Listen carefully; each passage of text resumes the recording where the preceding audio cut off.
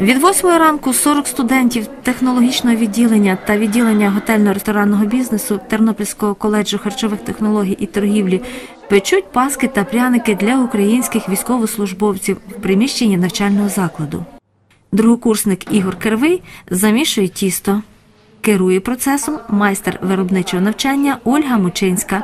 Вона ж і ділиться рецептом. Попередньо кип'ятили 400 грам молока, його остуджували, тоді додавали е, дріжджі, цукор, сіль. Після того ми додали олію, додали жовтки, щоб паска була е, жовтого кольору.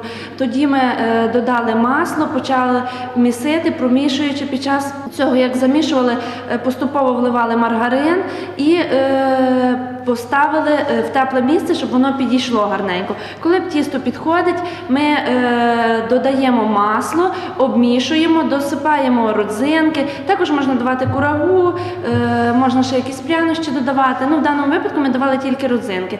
От ми замісили тісто, і коли воно підійшло, ми його розважуємо у формі по 350 грам. Після цього тісто ми ставимо, щоб воно підійшло, і тоді ставимо в духовку запікати.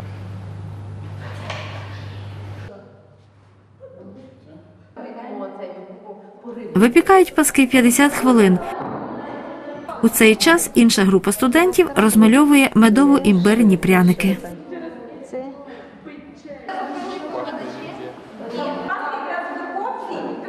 Вважаю, що до такої акції варто приєднатися. Для того, для те, що вони роблять для на- для нас, я думаю, це саме найменше, що можемо зробити для них. Використовуємо такі малюнки. Можливо, це може бути і верба, вербова гілка, бантики, курочки розмальовуємо. Хочемо, щоб ці імбирні пряники і паски принесли радість і позитивні емоції е, воїнам.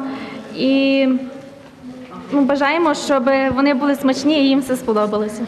Випікали паски і пряники до 16 години. Світлана Лазорик, Андрій Прокопів. Новини.